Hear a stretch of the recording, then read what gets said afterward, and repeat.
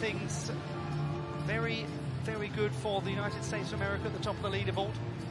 Now, Miyata Shoko, having, uh, by the looks of things, recovered from that difficult landing that she had on floor, will vault for Japan. It's a very important vault for Japan because it is a double twist. Floored everyone at the World Championships last year by how she was able to stick this vault. She doesn't do it tonight, but it's still very good. And after what we saw in the previous rotation, that's highly impressive mentally and physically from her. What a nice recovery. She bends her left leg slightly, and there's some